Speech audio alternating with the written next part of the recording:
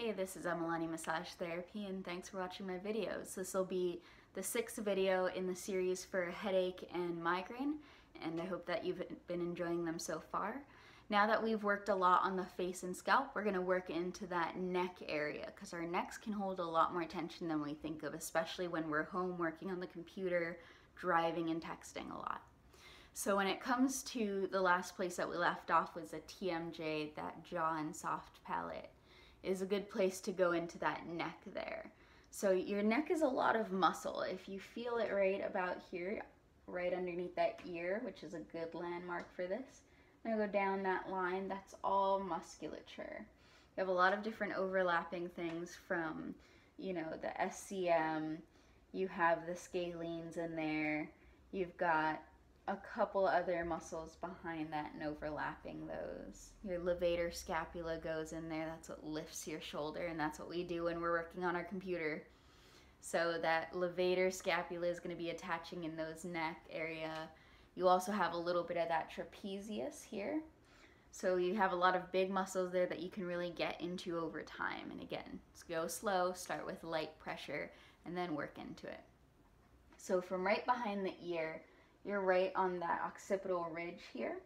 So you can do small scoops the same way that you did when you were doing the occipital ridge, the uh, TMJ area, and the temples. So you're going to follow that in little circles. So the circles are going around in this type of fashion. So you're going from the jaw, right behind the ear, a little bit further back towards the occipitals, and then down again. So you're getting that tension relaxing the fascia and the skin a little bit around it. And these circular frictions are really the best thing to go to when you're working on anything. They're a good starting point for palpating, getting a feel for the muscles and the structure that you're working on, and then seeing what kind of pressure you can use. Again, using your fingertips is a good place to start because you can be very light with them you don't have to be as careful as you do with the eyes and the soft palate because again, with all this muscle here, it's protecting the important parts. You just don't want to do the front of the neck here. So if you feel the front here, that's where your voice box is. You can feel those vibrations if you're talking. You can feel a little bit of that bony structure. It doesn't feel too great to poke right here gently. But that is an area where you have your esophagus and everything else that's being protected in there. A little off to the sides is where you can start to feel it's still just as squishy. So you want to be soft. This is just more of an informational learning spot. But that's where your carotid artery and some of the nerves and uh, pathways are along there. So if you put your hand on your neck, similar to a CPR class might have taught you, you can start to feel your pulse. You want to be right behind that. You want to be in this meaty part here that feels a little tougher. So we're working on that back part of the neck. Again, those scoops. And with the neck, what you can do is it feels like a lot of different ropes depending on how tense your muscles are. You're being gentle. You're not resting your hand on your clavicle or poking your throat. And just do those little scoops. You're going to put your hand there and then you're going to drop your other shoulder. So you're just pulling on those gently using gravity. So it's like if you use your muscles to get it in the right place, you hold your hand where it is, and then you just use gravity to assist you like your hand is going to fall slowly. So you're pulling forward on those muscles towards the back of the neck and the side of the neck.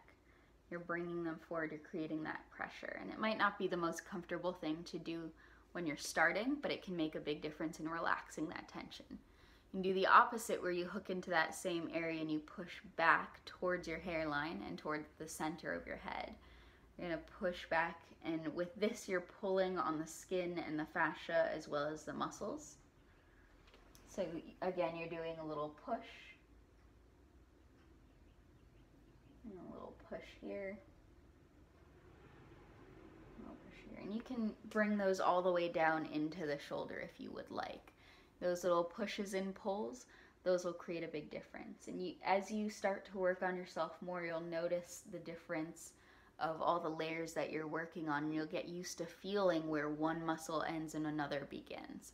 So you want to again go gentle on your neck. You're going to do those little scoops. You can use gravity as your friend. You can also push in the opposite direction. Even if you want to, you can hook in and you're just kind of holding that and head slowly away from it. So you see how this part of the neck got a little bit more stretched and it became tense, created that slide for my hand. That's because I was stretching the muscles there as I leaned my head away. And I was pressing down on those muscles as I did. So that's another pin and stretch that you can do on the side and the back of your neck. On the back of your neck, let me get a hair tie so you can see it. If you want to do a pin and stretch on the back of your neck, you're going to do what we generally tend to do when we're sitting in front of a computer, which is you're going to hook in, get into that occipital ridge, get a feel for it, and you're going to slowly look down at your toes. And then you're going to hook in again, so look straight ahead. Hook in and slowly look down at your toes.